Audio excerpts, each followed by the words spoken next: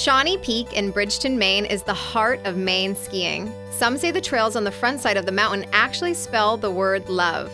With trails for all abilities, great grooming, and New England's most night skiing, Shawnee is a great choice for families. You know, everybody loves Shawnee Peak. Um, we're, we're kind of like a multi-generational family area where you see people that have been here, they learned to ski here, and now they're bringing their kids or even their grandkids back. There's terrain for everybody. We've got a dedicated learning area, and of course we have the most night skiing in New England. Now, thanks to a new RFID ticketing system, skiing at Shawnee just got even more efficient.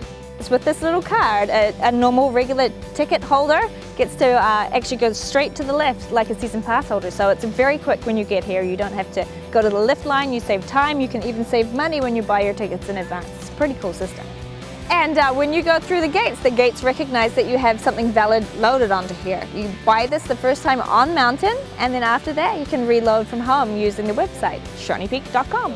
If you wanted to, you could use a card and uh, use it for one day, and then another day a different person could use that card. Shawnee Peak is located on Route 302 in Bridgton, Maine, just 35 minutes from North Conway and an hour and 15 minutes from Portland. Get more info at shawneepeak.com.